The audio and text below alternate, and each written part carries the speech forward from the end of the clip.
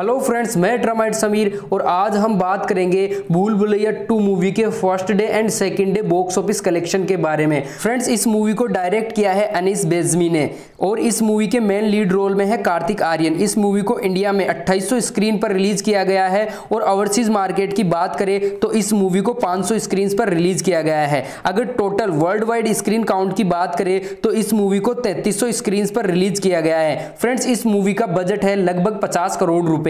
और friends Bhool Bhulaiyaa two movie ने first day Indian box office पर कमाए हैं लगभग चौदह करोड़ रुपए। और आज सेकंड डे अच्छी ग्रोथ देखने को मिल रही है। इसके कारण मूवी के कलेक्शन में भी बढ़ोतरी देखी जा सकती है। बात करें second day Indian box office collection के बारे में तो ये मूवी लगभग 18 से 20 करोड़ रुपए का कारोबार कर सकती है सेकेंड डे और बात करें टोटल टू डेज़ का इंडियन बॉक्स ऑफ़िस कलेक्शन के बारे में तो फ्रेंड्स इस मूवी ने लगभग दो दिन में बत्तीस करोड़ रुपए की कमाई कर ली है इंडियन बॉक्स ऑफ़िस पर।